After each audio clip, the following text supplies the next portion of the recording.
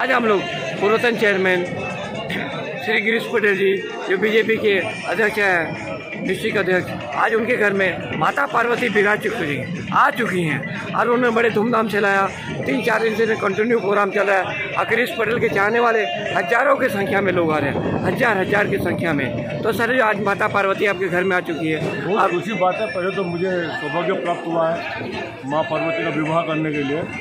और आज तो बाबा बालुकेश्वर बाबा हमारे घर में पधारने वाले हैं, बारात लेके। उसी व्यवस्था चल रही है और ऐसे भी दस दिन हो गया कंटिन्यू सब हम अपने परिवार के साथ में, अपने दोस्त यारों के साथ में, अपने छोटे छोटे जो भाई है, सबके साथ में तैयारी कर रहे हैं और जिससे लड़की का अपना विवाह, विदा करते हैं, वैसे ही विदा करते हैं उसमें कोई चीज़ की कमी नहीं होगी। तो इसके साथ क्या क्या अरेंजमेंट है सर आपका? जैसा एक लड़की को विदा करने के समय जो जो चीज़ का आयोजन किया जाता है, जो चीज़ दिया जाता है, उससे व्यवस्था किया गया है। और आज शाम को, आज शाम से कल्चरल प्रोग्राम यहाँ पे होंगे, डांडिया कार्यक्रम है उसके बाद में अपना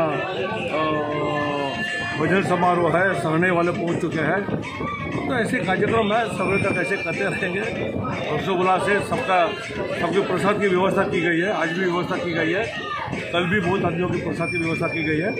और सबसे बड़ी खुशी की बात है, कल शाम को पाँच बजे केंद्रीय मंत्री अपने उड़ीसा के प्रमुख जो है भारतीय जनता पार्टी के धर्मेंद्र प्रधान जी उपस्थित हो रहे हैं।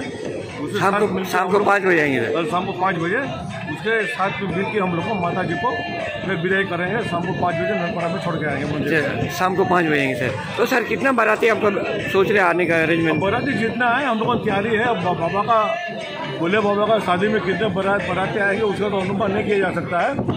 बहुत संख्या में आएँगे सबकी व्यवस्था की जा रही है। सर तो देख के लग जाता है सर कितने लोग आएँगे। हम तो आइडिया लगता है आठ दस से बारह हज़ार लोग हो जाएँगे आप में से। उससे कम नहीं होगा क्यों?